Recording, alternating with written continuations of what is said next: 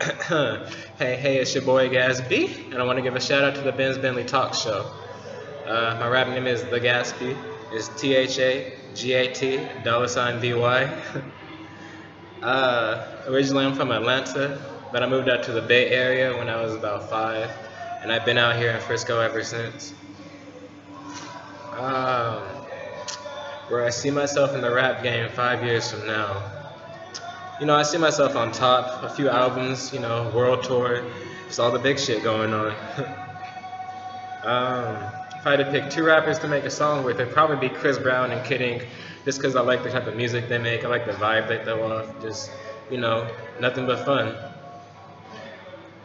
Um, if I had to pick a category for my music, I probably wouldn't pick one. I would just say the Gatsby, because I feel like my music, like the world's gonna love my music. I don't want to limit myself by picking something when I feel like everyone's gonna like it, no matter who you are.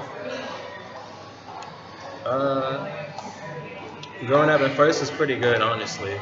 My mom's had a lot of money, so we started off really good until like about the eighth grade. Then it all just kind of fell fell downhill. uh, the First time I started writing music, I was about seven. I wrote a few songs, but honestly, I threw them all away because I didn't think they were good enough. I would say I started to get serious about music when I was 20, though, and I'm 23 now, so about three years ago. Um, and if I had to pick somebody to get signed under, it'd probably be Jay Z or Kanye West, just because I like where their heads at. They care about music and money. And that's what I care about music and money.